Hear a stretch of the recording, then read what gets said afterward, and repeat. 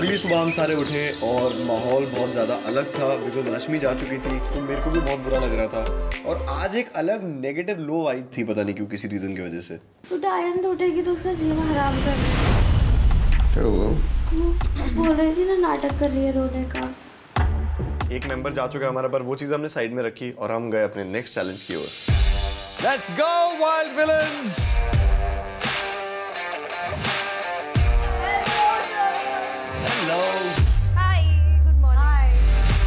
How lovely everyone is looking. Hi, sir. Thank you. You too, sir. So how's everybody doing? All good, sir. Amazing कुछ interesting हो रहा है wild villa में कल तक तो थोड़ा रोने धोने वाला माहौल था क्योंकि रश्मि लेफ़्ट देन सुबह से भी कुछ खास इंटरेस्टिंग तो हुआ नहीं है और आजमा आप काफ़ी अपसेट थी बहुत ज़्यादा और जब मैं रो भी रही थी तो ये लोग बोल रहे थे कि मैं नाटक कर रही हूँ रोने का कैमरा के लिए वगैरह किसने कहा ये रिया बोल रही थी जब मैं नहीं थी जब आपने कहा कि आप चले जाओ आजमा को रश्मि के बदले तब रिएक्टेड एनीथिंग अगर इतना ही प्यार नहीं होता बोला, तो वो मैंने खुद बोला था। वो मैंने खुद बोला था सर ने नहीं बोला था मैंने खुद बोला था कि मैं चाहती हूँ उसकी. जगह।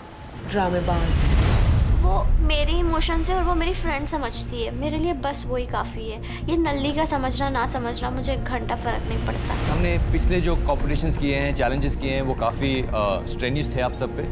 तो आज मैंने आपके लिए कुछ स्पेशल प्लान किया है। Today is going to be a spa day for everyone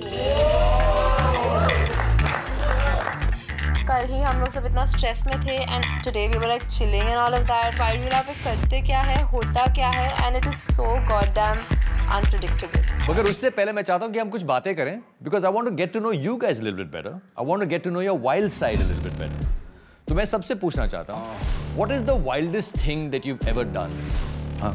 Skinny dipped on a beach एक क्राउडेड बीच पर मेरे पार्टनर के साथ मैंने विदाउट एनी क्लोथ्स बीच पर बाकी के लोग भी थे वहाँ पे? हाँ कम थे बट थे। मतलब it was a resort and उसका प्राइवेट बीच था लोग थे। But I like who cares कौन जानता है यहाँ पर? अबे थंगू तू हो गया बीच में नंगू। मतलब ठरकियों का स्वामी कहीं भी नहीं रुकता।